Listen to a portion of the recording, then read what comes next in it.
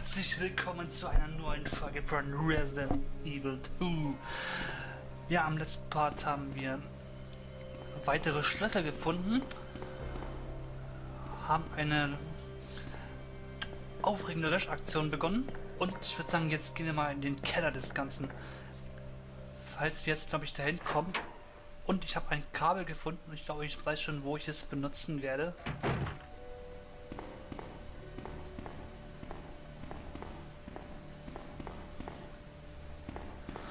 Oder wartet mal, kann man nicht erstmal hier lang? Weil mir war, als konnte man jetzt hier drüben noch was machen. Ein Rätsel oder so.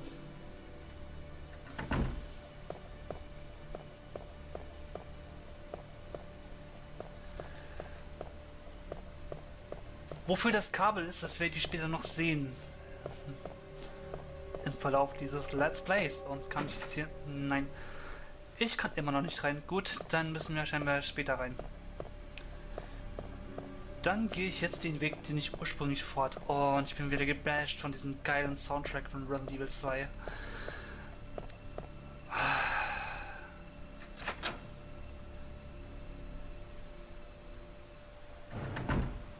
Oh Leute, dieses Spiel macht so eine herrliche, creepy Atmosphäre. Es ist fast so geil wie in Silent Hill.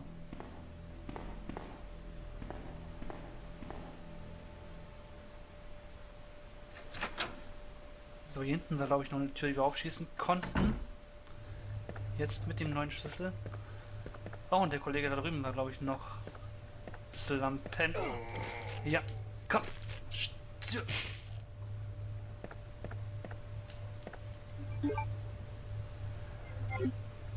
Ich glaube, ich weiß, was im Keller auf uns wartet. Und ich hasse es jetzt schon.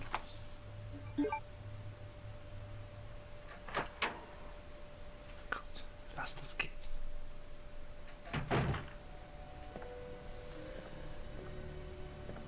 Gut, da ist erstmal was Schönes, das nehmen wir gleich mit. Kräuter.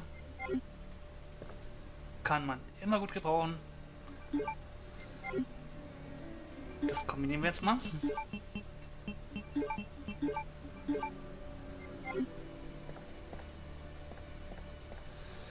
So, und hier werde ich jetzt das Kabel einsetzen. Weil das ist ein wichtiger Pfad, den werde ich ab und zu auch mal benutzen. Den anderen Pfad, den Westflügel, brauche ich nicht wirklich. Weil da können wir abkürzen. So, und jetzt glaube ich, kann ich nämlich hier... Kann ich hier auch schon rein? Nein, noch nicht. Müssten wir, glaube ich, auch im Keller finden. Etwas, das wir gebrauchen können.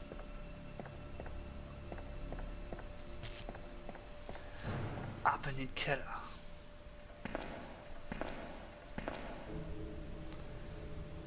Und diese geile Kellermusik. Ja, ihr hört schon, es sind die Hunde. Fuck.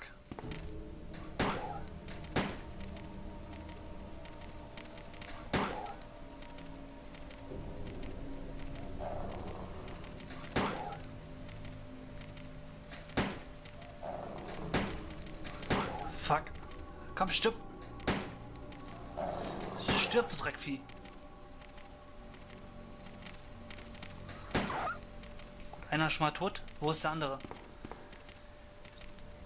Der lauert doch hier, ich höre ihn doch. Komm raus.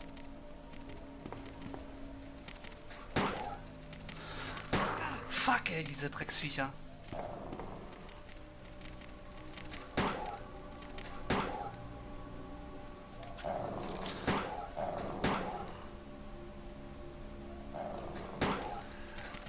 Ja, wenn sie knurren, kann man selbst gleich nochmal angreifen und nachsetzen. So. Jetzt müssten sie auch tot sein. Ah, voll die großen Lachen, ist ja ekelhaft. Was war das? Die Autopsieraum verschlossen. Ein Kreuz eingraviert. Gut, hier hinten konnte ich glaube ich speichern. Hier unten in den Kellerchen.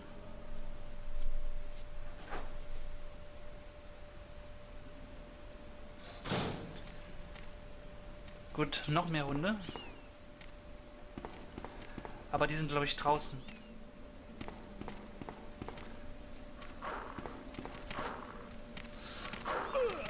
Ey, diese Drecksviecher.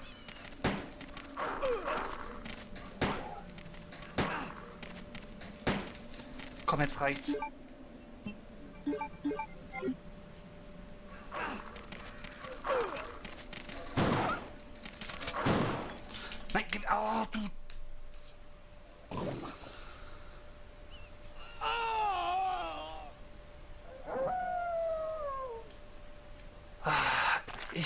Hasse diese Hunde.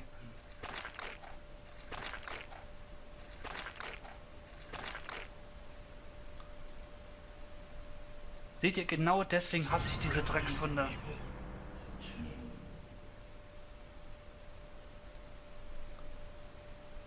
Es ist immer so ein Ärgernis mit diesen Scheißviechern.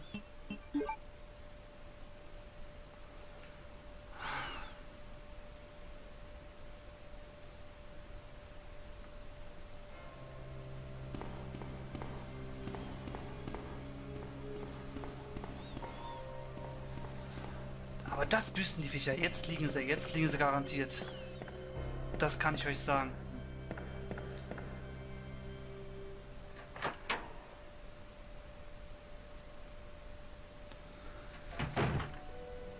Vor allem, ich konnte nicht mal eine 180 Grad Drehung machen. Ich war noch nervender. Es ist mindestens doppelt so anstrengend, wenn du keine 180 Grad Drehung machen kannst. Die du erst zum Teil 3 so richtig machen konntest. Oh Mann. Weil ich möchte so einen Hund möglichst schnell töten und nicht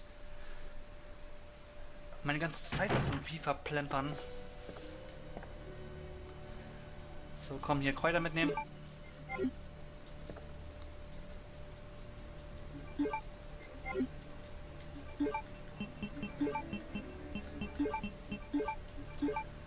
Ja, mischen. Jetzt sind sie fällig, Leute. Jetzt sind diese Drecksviecher fällig.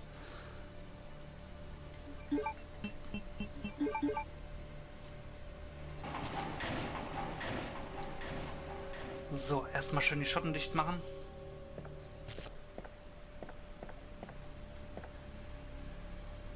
Ich möchte gerne möglichst alle Hunde da unten eliminieren, bevor sie richtig nervig werden können.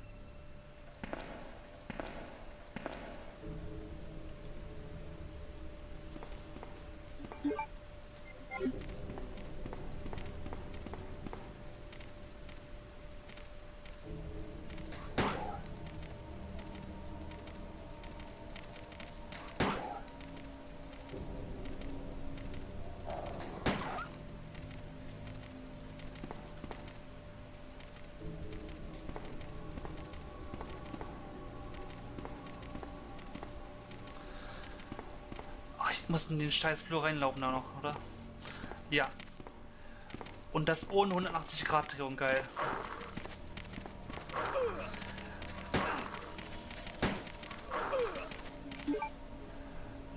Es ist doch nicht möglich, nicht getroffen zu werden.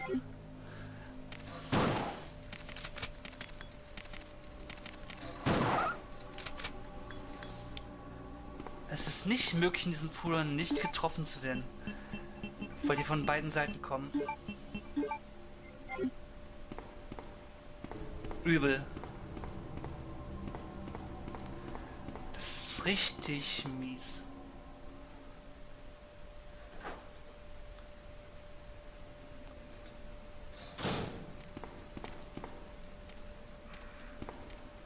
So, komm, wo ist der erste?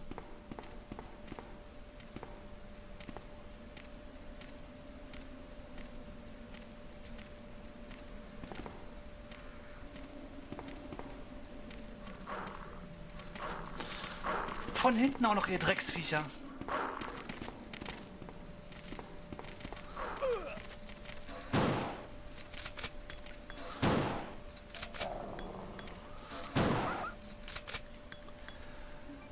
So, jetzt ist endlich Ruhe für ey. Meine Fresse.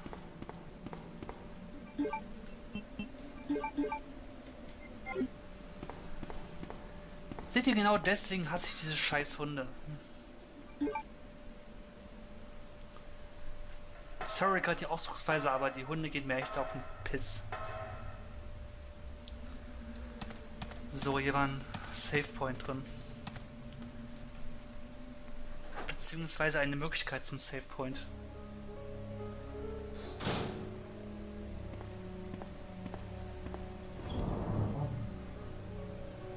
So, aber das werde ich jetzt noch nicht tun.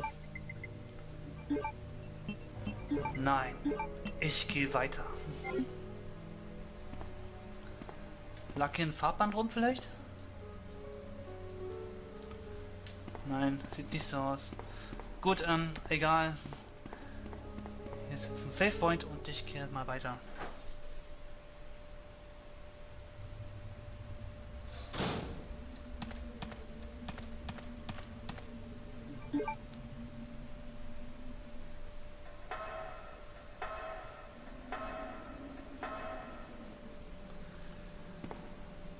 Weil soweit ich weiß, waren das nicht die letzten Hunde. Nee, da waren noch ein paar mehr. Auf der anderen Seite dieses Flurs.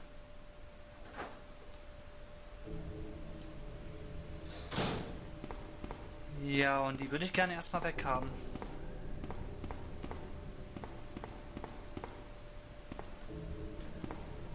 Wartet mal, kann ich vielleicht hier schon rennen, weil ich vielleicht vorher erst meinen Strom hier einzuschalten.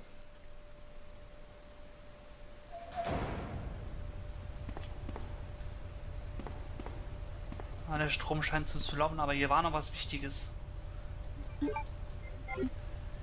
In diesem Generatorraum.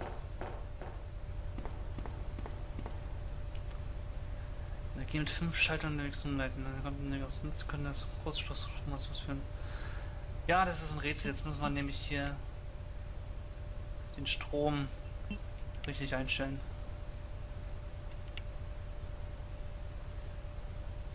Ich glaube, so schwer war das auch nicht gewesen. Ja, das war's schon. Energie in Ordnung. Gut, da können wir aber noch nichts machen, weil wir noch keine Keycard besitzen. Sage wir Karte ja mitnehmen.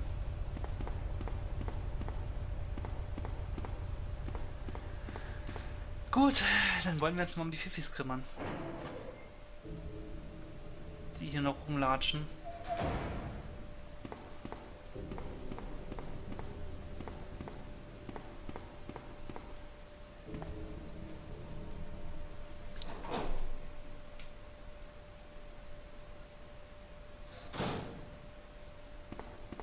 Ich glaube, Cutscene kommt gleich, oder?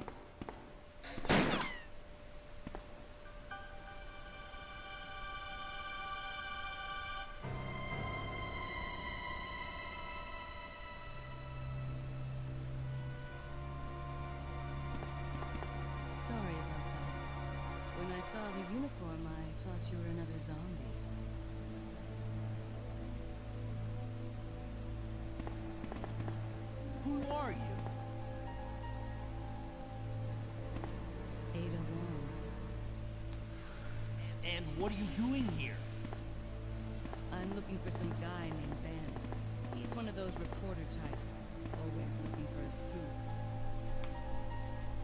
I heard he was locked up in a cell block, only there's a wrecked car barring the entrance. I've been trying to find another way inside.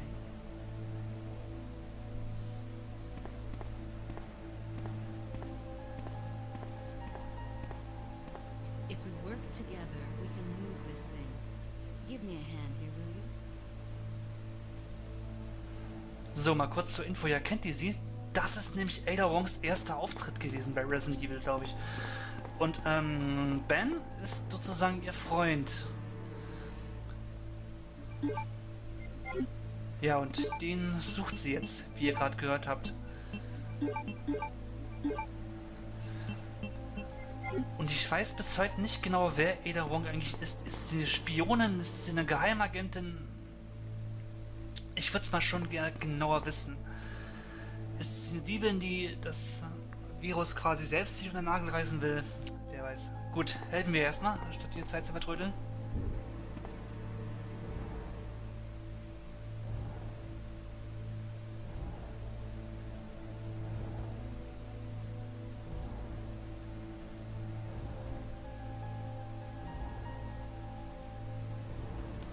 Das reicht.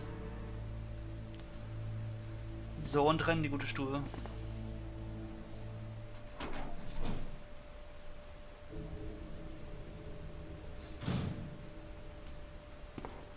Ada, wait! Ja, und sie rennt einfach mal voraus. Einfach so, aber wir gehen erstmal hier rein.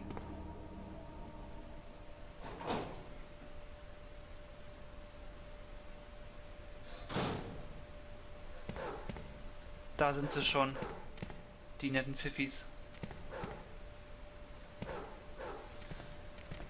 Und wir müssen dadurch.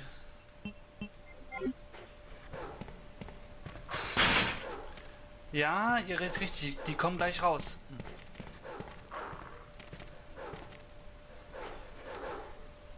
Die bleiben da nicht ewig drin.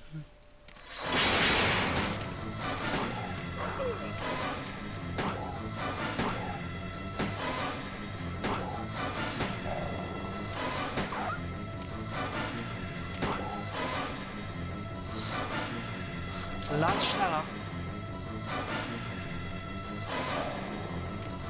Die, Dog.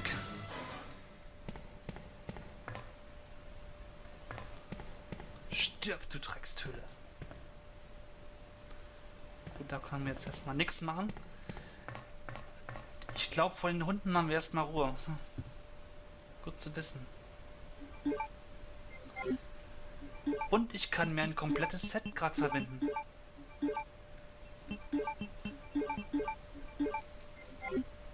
Super. Aber bevor es hier weitergeht, würde ich sagen,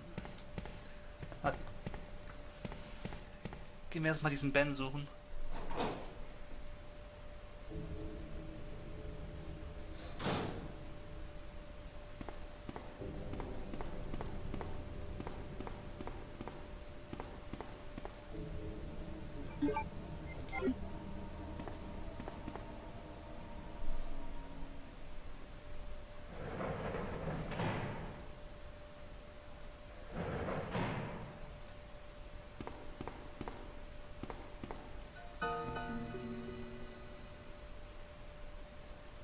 Let me guess.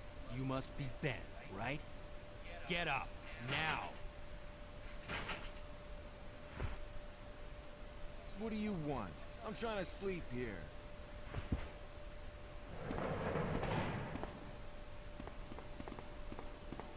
Is this the guy?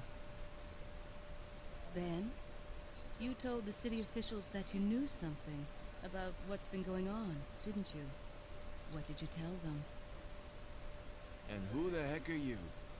I'm trying to find my boyfriend. His name's John. He was working for a branch office of Umbrella, based in Chicago, but he suddenly disappeared six months ago. I heard a rumor that he's here in the city. I don't know anything. And even if I did, why would I want to tell you? Okay, I say we leave him in there. Does anyone know where they put the key to this cell? I have it right here, officer. But I'm not about to leave this cell. Those zombies aren't the only things crawling around out there. What was that? William. Like I said, I'm not leaving this cell. Get out of here before you lead it right to me. Hey, I'm not going anywhere. I'm the only cop left alive in this building. What? Look, if you want to live, then you're gonna have to leave with me. But do you even know how to get out of the city? There's a kennel in the back of the building. Inside the kennel is a manhole. Go through and it'll lead you to the sewer entrance, but it won't be easy. All right, I'm going.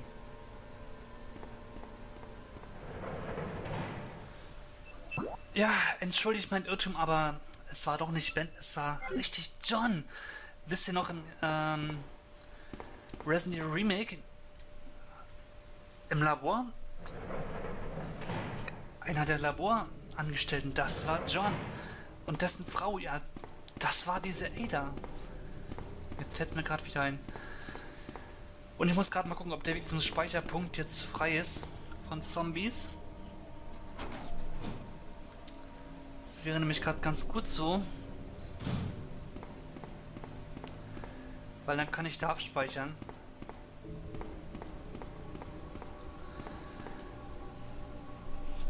Ich lasse aber jetzt noch laufen, falls unterwegs noch Zombies sein könnten.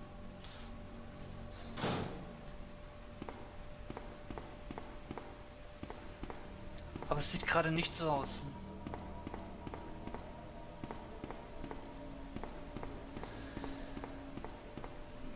Ja, äh, Leute, wie es aussieht, sind hier unten keine Zombies unterwegs. Deswegen würde ich sagen, das war's von Resident Evil 2. Im nächsten Part sehen wir jetzt unten im kleinen Safe-Kämmerchen wieder. Also bis zum nächsten Mal. Tschüss, Leute, und danke fürs Zuschauen. Euer Wacky Line. Ciao.